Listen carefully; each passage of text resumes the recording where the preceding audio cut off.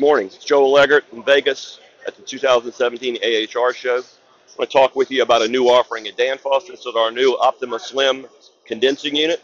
This is um, being launched here at the show. We look at some of the features of this. We've got a Danfoss scroll compressor, uh, a Danfoss filter dryer, a Danfoss sight glass. We've got a variable speed control here as a, as a low ambient control.